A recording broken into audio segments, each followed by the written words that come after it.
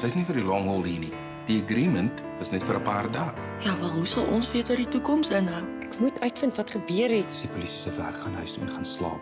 Jy kan ons vir David vertrou met die res. Juis van delegeer en ander mense vertrou wat ons nou in hierdie krisis is. Bart, het 'n hele paar grys hare.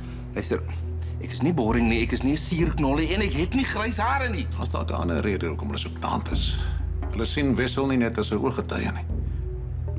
Jy bedoel, hy's 'n verdagte. Ons gaan leer om te skilder. Daar gaan 'n instruktrise wees om ons te help. Hoe is dit kom? Hierdie is net 'n verskoning vir 'n klomp vrouens om wyn te drink en na 'n kaal man te kyk en onder die toolbelt grappies te maak. Moenie vir Annelies rede gee om te suspek dat jy 'n hidden agenda het nie. Tot ons proef het, gee ek hulle die benefit of the doubt.